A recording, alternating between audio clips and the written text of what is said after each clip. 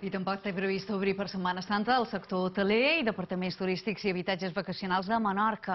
L'illa només té 27 establiments oberts, la major part són hotels de ciutat, hotels botic i hotels rurals que esperen l'arribada de visitants de la resta de les Illes Balears.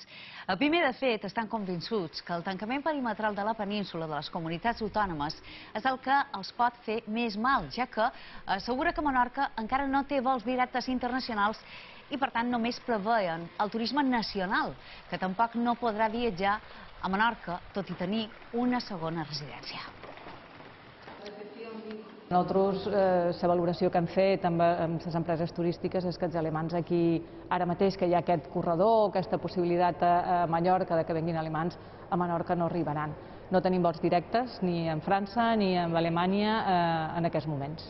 Ha habido algunas cancelaciones encima de la mesa con estas medidas, porque cada vez que tenemos un titular de cierre perimetral, pues hay gente que se piensa si, puede salir o no puede salir y que cancela las vacaciones. Pero Semana Santa este año no contará como la apertura de la temporada turística en Menorca.